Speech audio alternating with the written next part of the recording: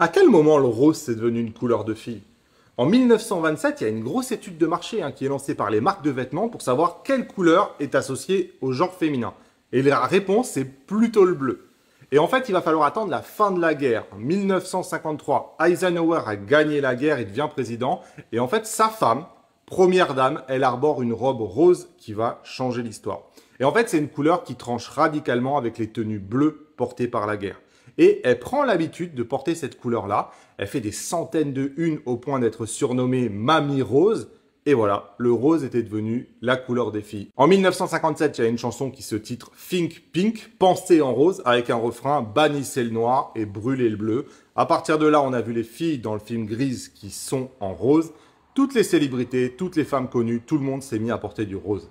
Ce qui est rigolo, c'est qu'aujourd'hui, la tendance, c'est plutôt de détacher ce stéréotype rose égale couleur de fille. C'est la fin d'un cycle.